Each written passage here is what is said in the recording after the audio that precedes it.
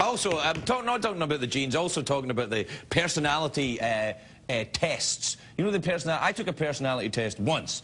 It was uh, towards the beginning of my stay in show business hospital. I was in rehab, all right? I was in rehab.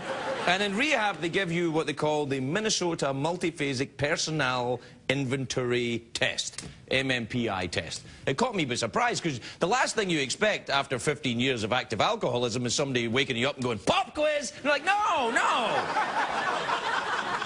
600 multiple choice questions, but the test is from Minnesota, so the, you know, the choices are uh, you betcha or gosh darn it. gosh darn it.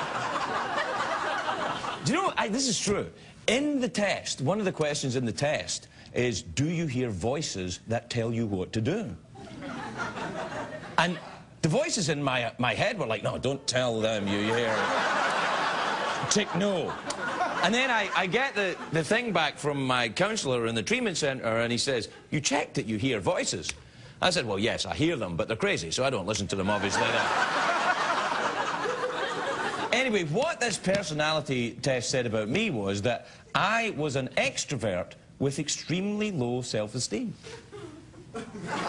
Apparently, that's a very rare personality type. There is no treatment, so the doctor says you better go to Hollywood, at least you might earn a couple of bucks. And that's true, to a degree. All right. That's right. Laugh at my pain. Ah, yeah.